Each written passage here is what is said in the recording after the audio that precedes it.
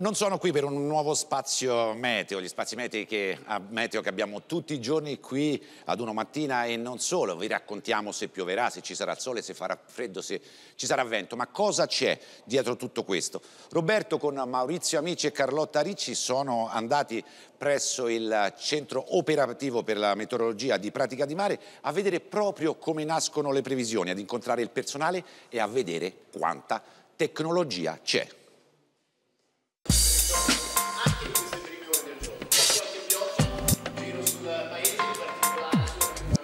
Tenente colonnello Guido Guidi, buongiorno. Buongiorno, eccoci. Qui le previsioni sono bruttissime, ma... Beh, insomma, proprio così brutte, no, attenzione perché questo è delicato. Servono persone esperte, formate per dare questo tipo di informazioni, molti si improvvisano a fare questo lavoro, dietro invece che cosa c'è? Ma dietro c'è un mondo, dietro c'è un'organizzazione molto vasta che fa un sacco di cose, per la verità, raccoglie dati. Allora io vorrei vedere che cosa c'è dietro questo computer e che valore aggiunto porta questa divisa. Come possiamo fare? E dobbiamo andare a pratica di mare, andiamo al centro operativo per la meteorologia, andiamo a vedere dove nasce la meteorologia, dove nascono le informazioni che poi diffondiamo per il paese. E allora andiamo a seguire cosa c'è dietro a tutto questo. Guido, questa è un po' la tua casa. Oh, questa è assolutamente la mia casa, è la casa del servizio meteorologico dell'aeronautica militare. Quando ti fermano per strada che ti chiedono? Sempre che tempo fa. Ma come è iniziato sto, sto lavoro? È iniziato per passione. Ecco, cosa significa per te, mentre entriamo, indossare questa divisa? Significa far parte di un'organizzazione assolutamente coesa e che di fatto, esattamente come hai detto prima, è la nostra casa. Hai portato in una stanza piena di robe elettroniche. Beh, questo è il cuore tecnologico della meteorologia, del servizio meteorologico dell'aeronautica. Noi lo chiamiamo il supercalcolatore. È effettivamente un sistema di calcolo ad elevata capacità che è assolutamente necessario per la meteorologia dei giorni nostri. Dietro a tutto questo però c'è l'uomo. Fatta la previsione dai modelli, ci vogliono le persone capaci di interpretarla, di elaborarla per gli usi più disparati. Innanzitutto la navigazione aerea, militare e civile, ma poi anche la meteorologia generalista o la protezione civile, quindi tutte informazioni organizzate con linguaggi diversi, ma che alla fine devono mandare un messaggio univoco.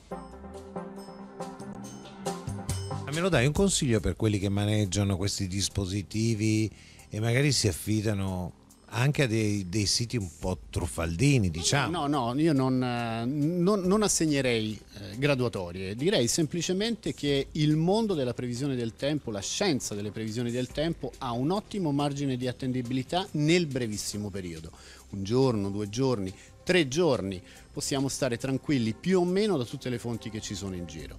È questa la ragione per cui sulle nostre fonti di informazione, anche sul web, il portale, piuttosto che l'app, non andiamo mai oltre i cinque giorni, perché sappiamo inevitabilmente che l'attendibilità dell'informazione cala.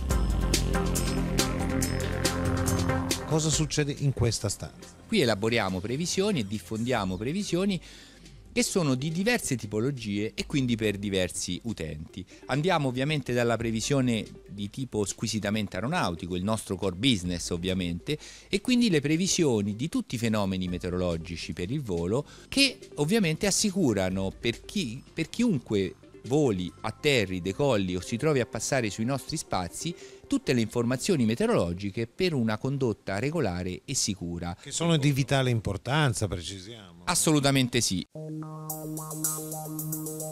Maggiore, in che cosa consiste il suo lavoro? Effettuiamo degli avvisi di burrasca per vento forte o eh, temporali previsti o in atto e eh, eventuali fenomeni intensi sul, sul Mediterraneo. Questo essenzialmente è il lavoro di cui ci occupiamo. Come ha cominciato?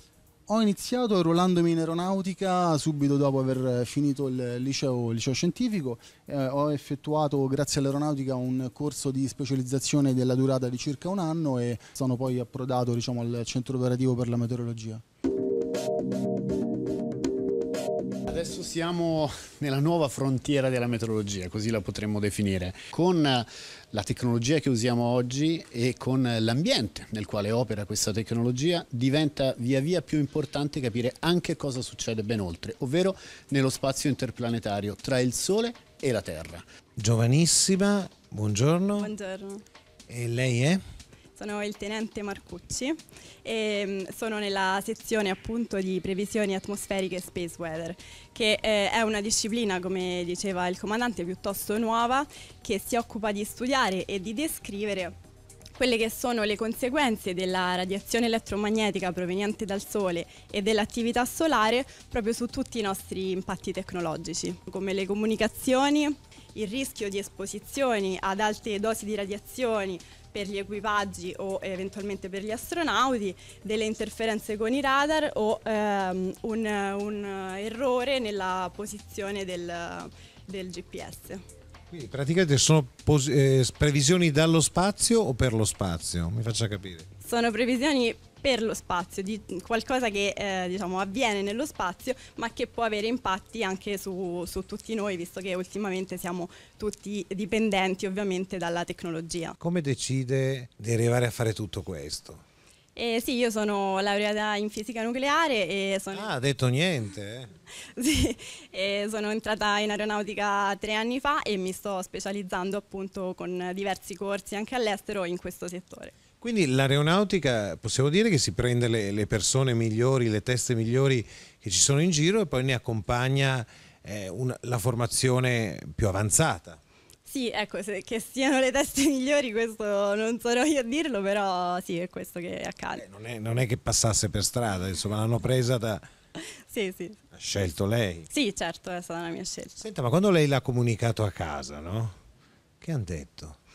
Eh, all'inizio non l'hanno presa proprio benissimo, però... Che cosa pensavano? Ma niente, ogni tanto l'ambiente militare può, può spaventare, invece poi adesso ovviamente vedono me contenta e sono contenti anche loro. Allora quando vedete il colonnello Guido Guidi con i suoi colleghi eh, che fanno le previsioni in studio, insomma, eh, sapete che adesso sapete che c'è dietro tutto questo. Beh sì, in particolare qui siamo sul tetto del nostro centro. Prima si parlava di telecomunicazione, abbiamo visto quali sistemi tecnologici impieghiamo per uh, lo scambio delle informazioni. Una parte di queste informazioni arrivano naturalmente dai satelliti. Ecco Guido, ti ringrazio per averci portato nel tuo mondo che è anche il nostro, perché l'aeronautica è di tutti noi. Grazie a voi per essere venuti ovviamente. Senti, ti dico una cosa, ci arrivo da solo che sta per piovere. Scappiamo prima che arrivino. Ma ti dirò, guarda, minaccia ma non è detto. Aia, non è detto. aia.